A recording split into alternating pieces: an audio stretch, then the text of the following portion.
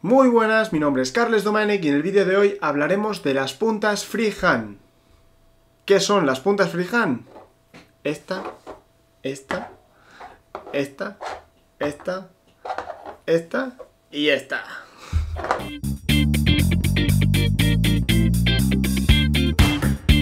Es un pack de puntas con 6 formas geométricas distintas. La parte que se ilumina es de unos 3 centímetros. Y aparte van acopladas a un adaptador para poder ponerlas en nuestras linternas. ¿No habéis visto el vídeo de los adaptadores?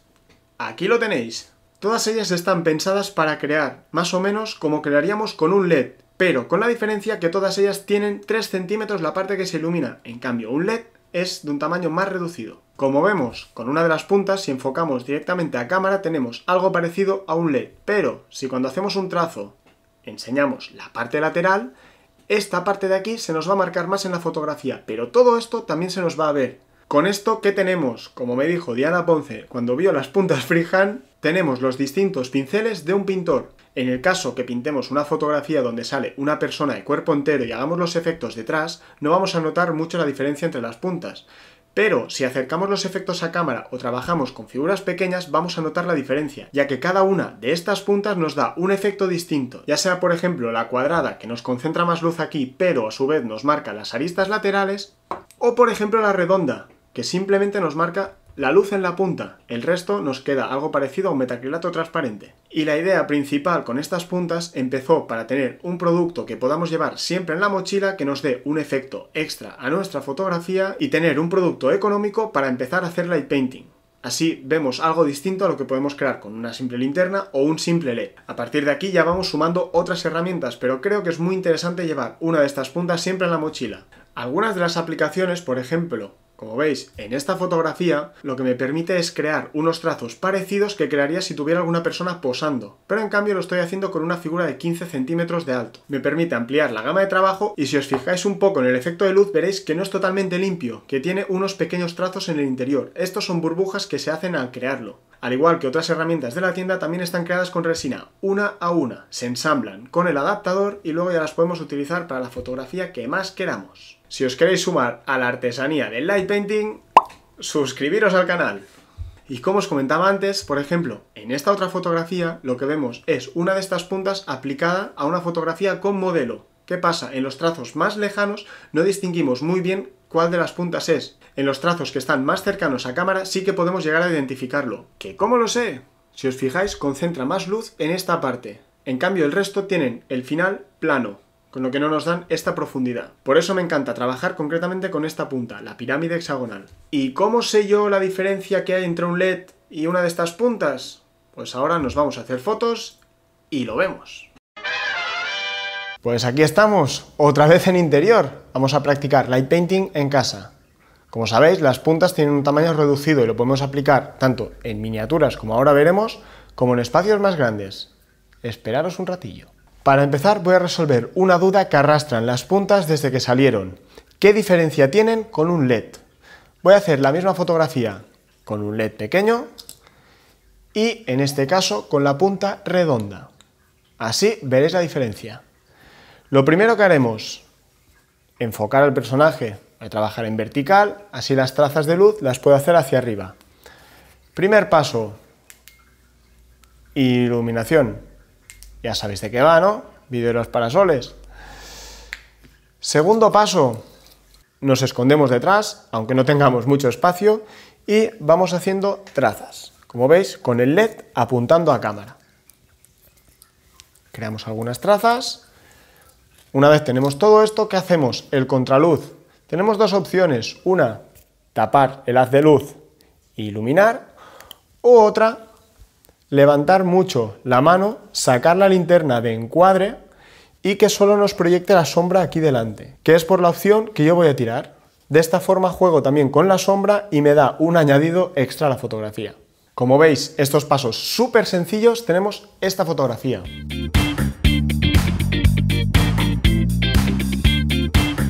Y ahora, siguiendo los mismos pasos, repetimos iluminación. En este caso, en vez de ponerle el LED, vamos a poner la punta redonda, que es de unos 3 centímetros de largo. Y con ello, si apuntamos hacia cámara recto, vamos a tener algo parecido a un LED. Ahí es donde empezamos a jugar con el movimiento orgánico. Si en vez de hacer una línea recta hacemos una línea donde vamos mostrando los lados de la punta, vamos a tener toda la profundidad que nos puede dar esta herramienta. Sí, poco a poco creamos los trazos de un lado a otro y finalmente, igual que antes, vamos a mantener el contraluz, que voy a proyectar la sombra encima de la mesa. Y una vez tenemos todos estos pasos, esta es la fotografía.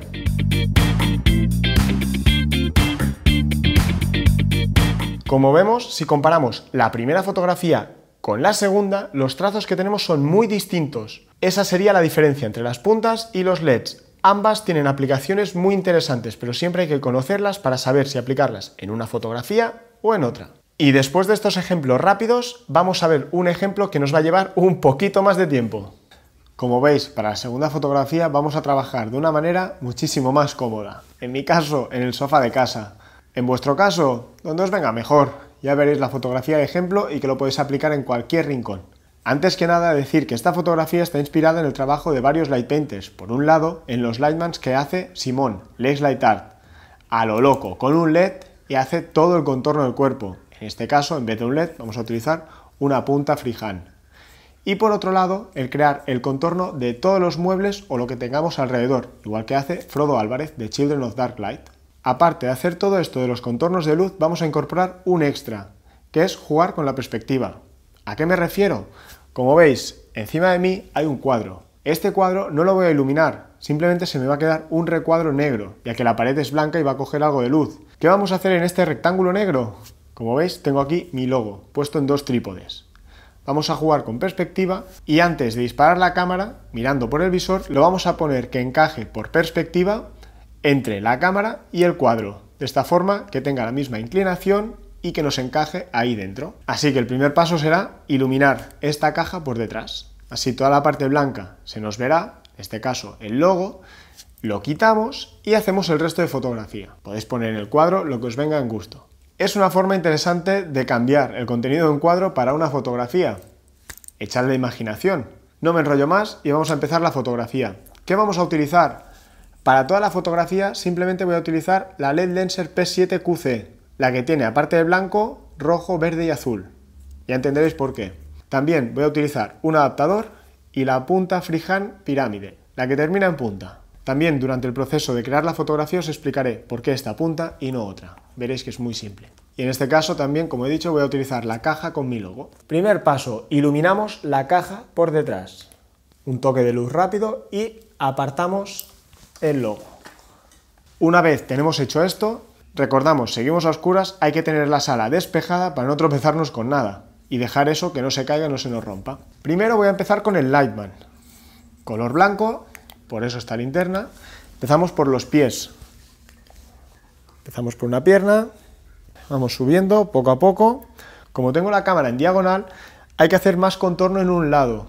Hacia el otro lado no hace falta llegar hasta tocar el sofá. Simplemente que hagamos todo el recorrido que puedo captar la cámara. Al llegar a la rodilla, cuidado, porque se nos puede ir un trazo más arriba o quedar una forma rara. Todo el rato vamos pegados al cuerpo. Vamos creando poco a poco y cuando terminamos una pierna, apagamos y empezamos por el otro pie. Subimos poco a poco. Está claro que esta luz nos va a iluminar el sofá, pero si es un personaje que emite luz, algo tiene que iluminar donde está sentado. O sea que ahí nos lo hace más realista. Seguimos creando trazos y ya tenemos la pierna.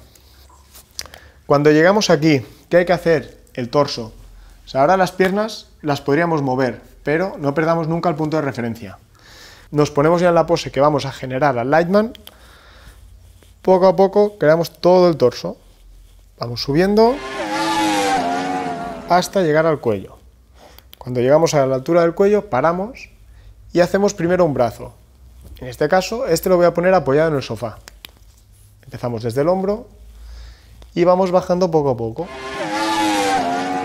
La parte de la mano la podemos hacer más ancha o currarnos cada dedo. Se lo dejamos también a libre elección. ¿Qué más nos queda? Nos queda el otro brazo y la cabeza. El otro brazo lo voy a hacer con la mano apoyada en la cabeza, así que tengo que hacer todo el brazo y la mano, pero la mano está apoyada en la cabeza. Así que primero creo toda la cabeza y luego el brazo que me falta. Para la cabeza lo mismo. Hacemos el contorno por delante, no hace falta darnos un golpe en la cara.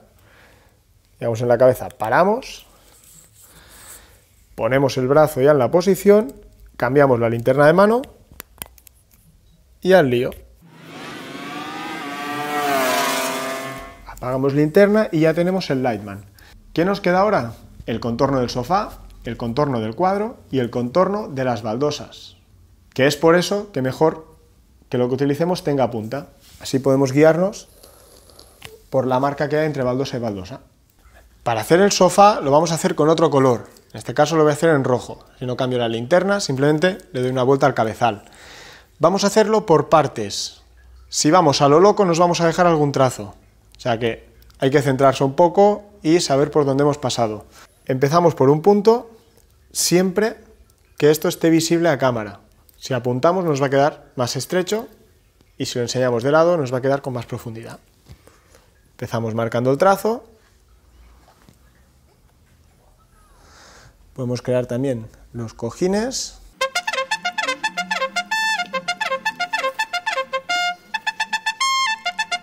Pensad una cosa, si me pongo yo entre la luz y la cámara, voy a tapar la luz, siempre a un lado.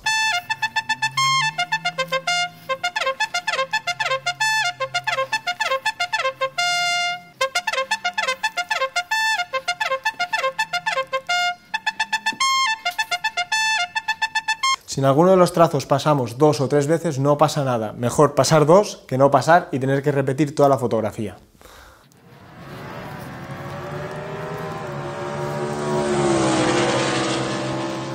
Por cierto, si tenéis un gato y no se mueve en la foto, perfecto. Pero ya veréis que como cuando voy a hacer la foto, se ha ido de aquí.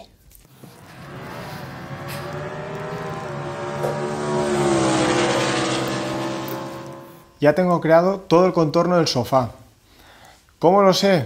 Pues un poco por intuición, ya que en mi caso trabajo con Nikon y no puedo ir a cámara a mirar si me deja algún trazo o no. Si trabajáis con Olympus sí que podéis ir a la pantalla y mirar, y más o menos localizar dónde falta ese trazo. En caso de que no tengáis Olympus, simplemente hay que trabajar de una manera muy metódica y no dejarnos ni un trazo, si no hay que repetir la foto otra vez. Después del sofá, vamos a por el cuadro. Simplemente ponemos el color verde, hacemos todo el trazo y apagamos. Y solo nos quedará, para terminar la fotografía, hacer la marca que hay entre las baldosas del suelo, que esta la podemos hacer en azul. Si tenemos una linterna con más colores, podemos ir variando todavía más, hacer los cojines de un color, el cuadro de otro, el suelo de otro, etc. Y finalmente solo nos hace falta hacer las marcas entre las baldosas. Así que mucha paciencia, con la punta tocando al suelo para hacer las líneas lo más rectas posibles. Por eso, esta punta y no otra. ¿Lo puedes hacer con otra? Totalmente de acuerdo. Pero si vamos a facilitar el trabajo, ¿por qué no? Al igual que el sofá, vamos a ir en orden, de un lado a otro. Y lo que os recomiendo es primero hacer todas las líneas verticales y después todas las líneas horizontales, o al revés. Pero de esta forma, si hacemos de un lado a otro las verticales y de vuelta hacemos las horizontales, no nos vamos a liar.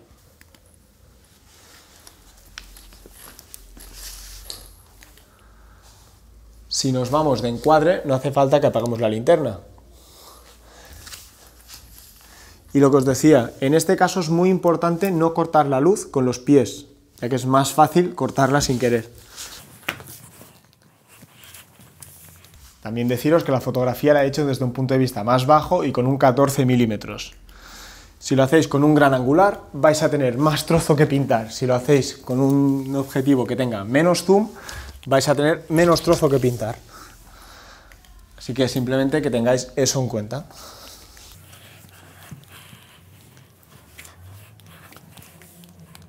Y una vez tenemos todos estos pasos en una misma fotografía, ya os digo yo que la he tenido que repetir un par de veces porque me he dejado alguna que otra línea, el resultado que tenemos es este.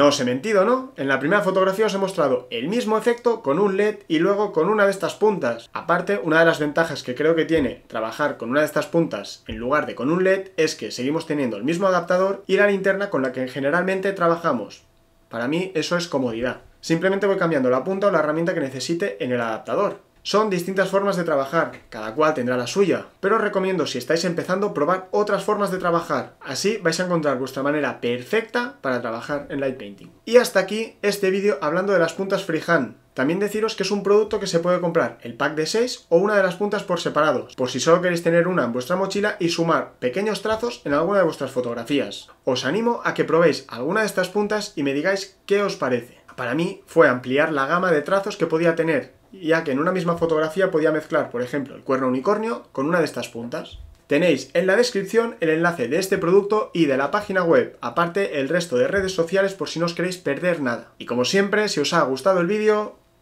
dadle al like, suscribiros al canal y dejadme en comentarios cuál es la punta que más os gusta. La mía es la hexagonal pirámide. ¿Cuál es la tuya? Nos vemos en el siguiente vídeo. ¡Un saludo!